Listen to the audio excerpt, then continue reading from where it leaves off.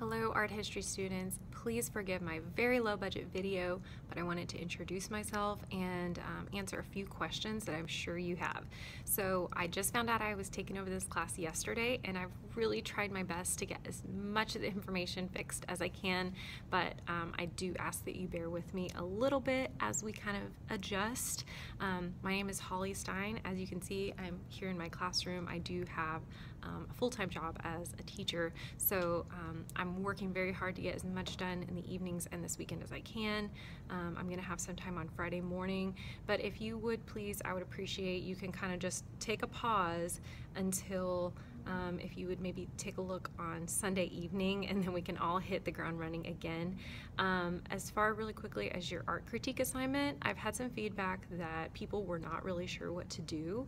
Um, I was going to delete the assignment, but then I saw it was due today and I figured most of you would have already done it. So, um, but based on the feedback I've gotten, I've decided to do um, a choice for you. So you can either go ahead and upload your art critique assignment and I will count that as your midterm uh, grade.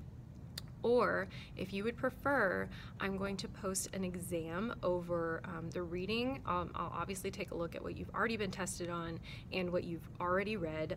I'm not expecting you to cover new material for that. Um, so it'll be over chapters you've already studied and I'll post a multiple choice exam um, probably most likely be like 50 questions, two points each, multiple choice, um, and you can complete that instead. So it will be on Blackboard, um, timed, so obviously you would get to use your book, you just have to complete it in um, the allotted amount of time. So I will have that posted hopefully no later than Friday, but I will leave it open for a whole week so that you have time to get it done. So you can either choose to turn in the art critique assignment if you've already done it, um, you can do that, or if you would prefer to just do the exam, if you were not sure how to do the art critique assignment, that's some of the feedback I've been getting, um, then you can do the exam instead. I hope that makes sense.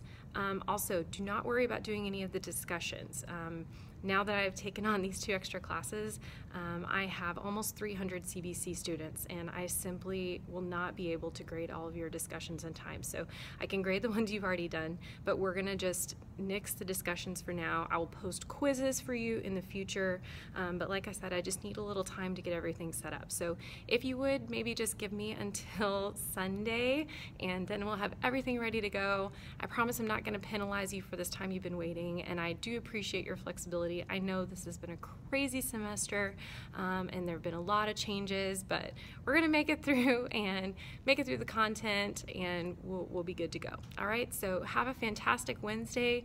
Um, be checking your uh, email where you get the announcements for this class periodically check in. I'll always post announcements. If you need me, you can send me a text um, 972-741-8633.